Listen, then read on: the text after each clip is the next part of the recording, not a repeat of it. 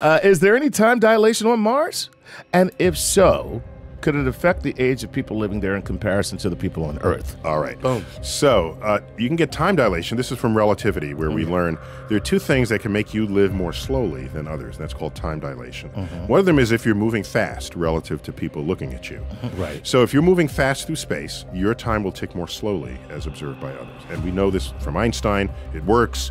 We duplicate this in particle accelerators. That's, that's not even a question. Right. All right. Now, gravity, high level gravity also slows down your time. This was a major element of the movie uh, portrayed in the plot line of the movie Interstellar. So, Earth's surface has a higher gravity than Martian surface. So, on Mars, you will live your seconds faster, slightly faster Slightly than people faster. live, living here on Earth. That's right.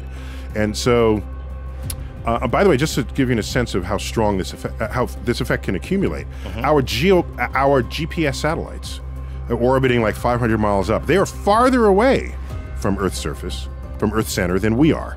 They're Okay. farther away. Okay. They're in a reduced gravity relative to us, which means their clocks tick faster than ours.